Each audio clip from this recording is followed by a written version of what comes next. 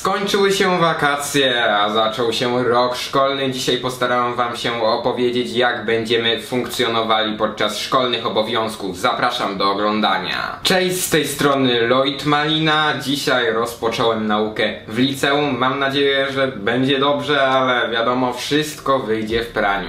Dzisiaj postaram Wam się przedstawić mój plan lekcji, jak chciałbym dostosować do tego planu lekcji filmy na moim kanale. Otóż nie jest źle w porównaniu do innych osób. Y, Kończę i zaczynam nawet w przystępnych godzinach. Najkrócej z tego co się orientuję mam w środę. Moje lekcje wtedy trwają do godziny 13 i proponuję około 3 filmy tygodniowo plus jeden live. Czyli jest dzisiaj film, dajmy na to, że kolejny będzie w środę, a później albo w piątek, może w niedzielę, a w sobotę live. Tak wiem, nadużywam słowa może i pewnie myślicie, że za dobrze nie przygotowałem się do tego materiału, ale jeśli chodzi o plan lekcji, to on jest dopiero planem przejściowym. Może jeszcze coś dojść, a może też coś odejść, dlatego nie chcę wam mówić, co będzie w dany dzień.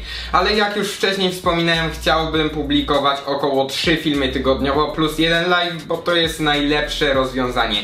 Filmy będą lepsze, ale przy mniejszej wydajności. Pojawiają się pytania o spotkania z widzami. Na ten moment nie przewiduję ogólnie w trakcie roku szkolnego.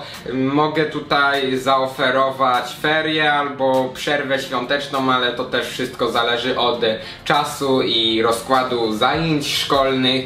No ale wiadomo, jak jest wolne, to można się spotkać, zaaranżować jakieś ciekawe spotkanko. Jeśli chodzi o filmy, będą one różnorodne, zaczynając od recenzji, przeglądów, y, kończąc na przykład na Ninjago albo też jakichś śmiesznych materiałach. Myślę, że takie ważne tematy zostały już przeze mnie poruszone. Przypominam, że zbliżamy się małymi krokami do 10 tysięcy widzów. Koniecznie dajcie znać w sekcji komentarze, do jakiej godziny najdłużej macie zajęcia edukacyjne, bo jestem ciekawy, już słyszałem, że pojawia się godzina 18, że ktoś ma do 19, więc jestem ciekawy do jakiej wy godziny macie najdłużej prowadzone zajęcia. Ja około 15, 16, więc myślę, że jest dobrze, ale jak ktoś ma 18, 19, to naprawdę współczuję. Widzimy się w kolejnych odcinkach. Cześć!